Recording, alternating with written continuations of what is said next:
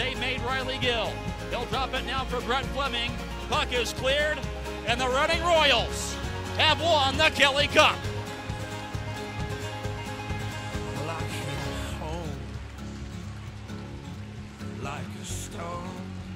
Players come flying off the bench from the Reading side, crowding behind their own net after Riley Gill completes their championship effort with 29 saves and the shutout this evening.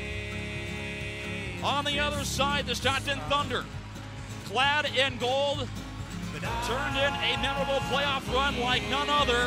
You can certainly say it was good as gold. Patrick J. Kelly will assist in the presentation.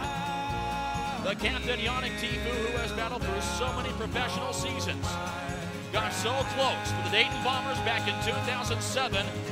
A chance to lift it now first as Reading's team captain.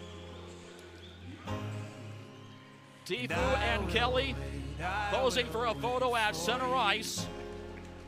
Their hands around the ECHL's Holy Grail.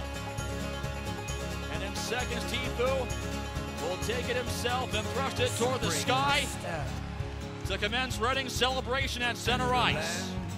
As Yannick Tifu lifts the Kelly Cup to begin Reading's championship celebration. Know what we've seen and him laughs.